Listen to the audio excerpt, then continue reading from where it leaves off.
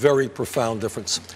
In the last debate, I believe in her book, very good book, by the way, in her book and in this last debate, she talked about getting the approval or the support or the mentoring of Henry Kissinger.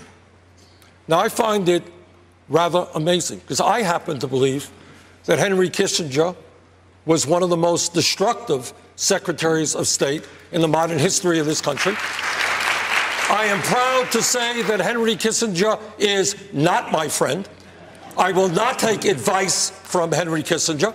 And in fact, Kissinger's actions in Cambodia, when the United States bombed that country, overthrew Prince Sihanouk, created the instability for Pol Pot and the Khmer Rouge to come in, who then butchered some three million innocent people, one of the worst genocides in the history of the world. So count me in as somebody who will not be listening to Henry Kissinger.